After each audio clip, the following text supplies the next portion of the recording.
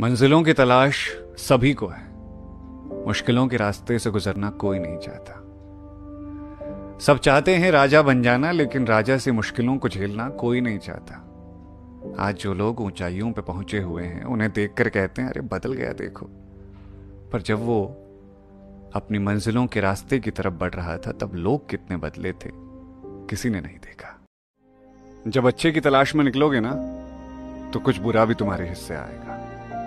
हिम्मत टूटेगी और कुछ समझ नहीं आएगा। ऐसे में खुद को संभाले रखना यार। कितनी भी मुश्किलें हो खुद को टूटने मत देना यार। जो एक बार तुम इन मुश्किलों से जीत गए ना ज़िंदगी में कोई भी परेशानी तुम्हारा कभी कुछ नहीं बिगाड़ पाएगी। अपनी किसी भी मेहनत को बेकार मत मानना। अपनी किसी भी मेहनत को बेकार मत मानना। मंजिल तुम्हें ज़रूर मिलेगी बस हार मत मानना। कि ज़िंदगी में कभी कभी ऐसा होता है कि हमको कोई रास्ता नज़र नहीं आ रहा होता है और हम लोग हिम्मत हार जाते हैं। तब हमारे अंदर एक बच्चा होता है जो कोशिश करने से कभी भी पीछे नहीं हटता। है वो हार मानने को तैयार नहीं होता है, क्योंकि उसको ना शब्द समझ नहीं आता। वो बच्चा, जिसके लिए कुछ भी नामुमकिन नहीं है क्योंकि वो हर हाल में कोशिश करता ही रहता है। नहीं, मैं हमेशा कोशिश करता हूँ कि मैं रिज़ल्ट के बारे में ना सोचूं।